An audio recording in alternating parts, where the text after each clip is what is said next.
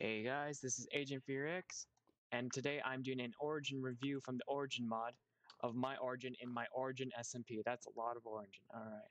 It is called the Dark uh, Whisperer. Sorry, the Deep Whisperer.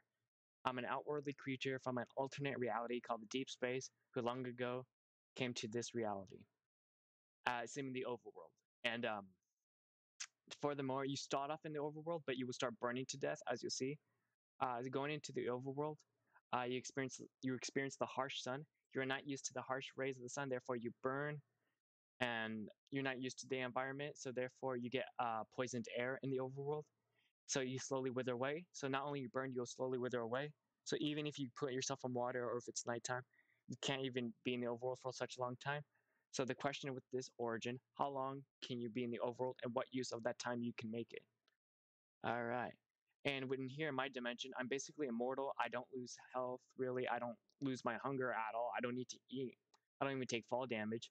My race have lived here for such a long time, such as you have learned to survive and benefit from my own dimension.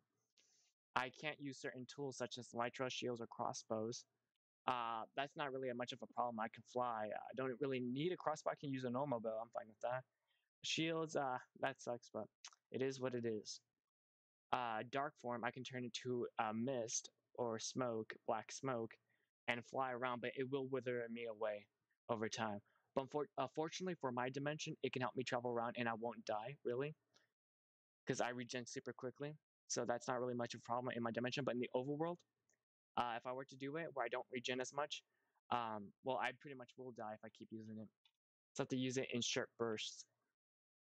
All right, and I have a deep rift ability, which is the main ability, and pretty much the staple of this origin, traveling from the overworld to this dimension and this dimension to the overworld, but you have to be aware of coordinates. So if you're if you're starting off in the if your friend is joining you and he's a different origin and he's in the overworld and he established a base and you want to be uh, at a spot where you can teleport to his base, he has to give you the coordinates and divide those overworld coordinates by eight, if I'm not mistaken. I believe that's how I did it. And I believe that is exactly what I did. So show off the ability of transporting uh, myself to the overworld. Um, my friend told me his coordinates to his overworld base. I marked it with this block. I basically have to press X. I like to jump just in case I don't get glitched into a block. But jump and doom. And you can see a purple bar over my hunger bar. That shows the cooldown. It's nighttime, so awesome. If it was uh, daytime, I'd be burning. And obviously, I still take damage um, because of the wither effect, because the air is poisonous still. And here's my dark form. As you see, I turn into purple smoke. I can fly around, but I will wither away. So I wither away just for existing here, and I wither away for using this ability. As you can see, I'll teleport myself here so I don't, um, or fly up here so I don't have to deal with any other mobs killing me. Because uh, one of the benefits of your own home dimension, there's no mobs to attack you. You're absolutely a god. No one can bother you, but you're all by yourself. You're a lonely god. So, anyways, um, if you're wondering how I got NPCs there, uh, because you can't bring anyone else with you, unfortunately, to the dimension, which would be cool for a strategic battle, but I'd be too overpowered. Um, I had a friend who has a different origin that allows um, portals to access to different dimension, and that origin actually takes advantage of the immersive portal mod. See, as you can see, I'm taking just damage. My, no one's killing me. I'm up here by myself, and I'm gonna go fly down.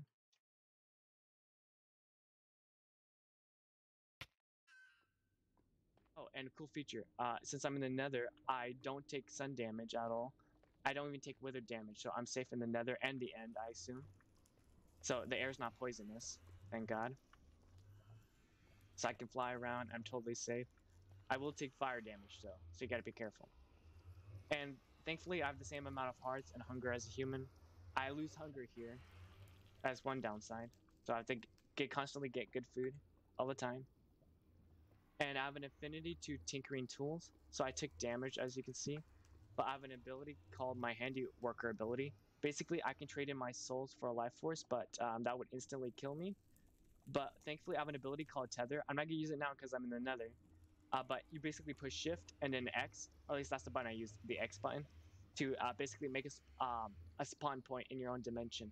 Because you cannot sleep in a bed in that dimension or else things go boom, if you know what I'm saying. So I'll just go ahead and kill myself.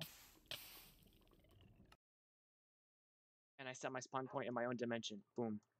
And if you want to change a different spawn point, just literally find a place you want to sit. I usually this is my usual spawn point, but I go shift and X and then boom, I'm tethered. That's my ability, tethered. Same my spawn point. So if I die again, I'll spawn here.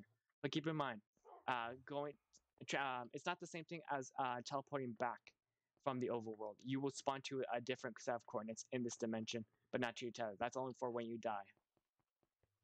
Anyways, um, like I said, I got all these NPCs from a different origin, so uh, more about that differently. Anyways, after all, there's many biomes that have uh, rich uh, iron and coal, copper across this dimension. Uh, but I do have an upper hand in combat um, in terms of escaping the combat, so it's not really much of an upper hand. I do have gain flight in this dimension, which uh, makes traveling so much easier. But it's going to be rough uh, at the first start of the dimension because you have to get torches.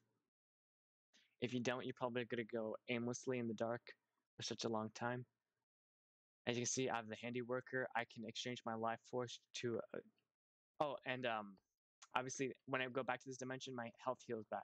So that's a one benefit to escape from PvP, because obviously you're not gonna have a great advantage. But let's heal my pants. It uh, it doesn't matter the durability.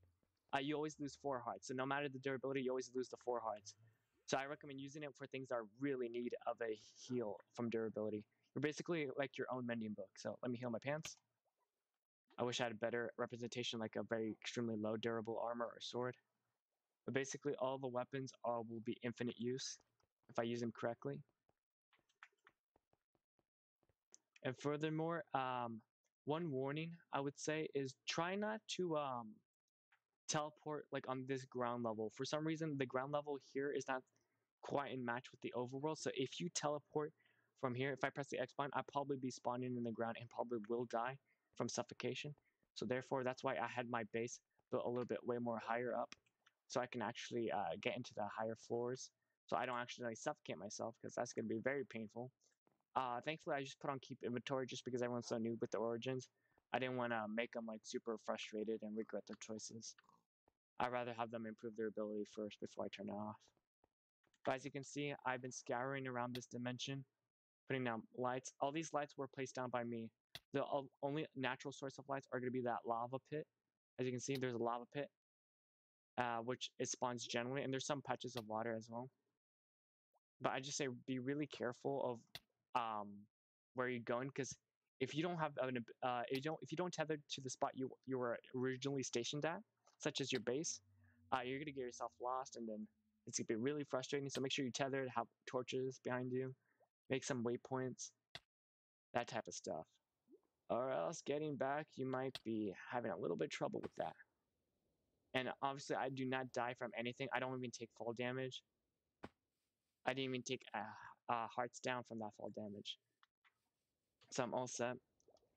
Uh, this is a perfect place to heal, gather resources, take to your overworld, help give your resources to your friends. But you cannot bring your friends to you with this origin by itself, unfortunately. Like I said, that was with the different mod. But um, let's say if you're lost, you don't know where to go. Well, if you tethered, you should just kill yourself. So, and then you're always back at your base. Very useful ability, I'd say. Alright guys, I think that'll be end for this video.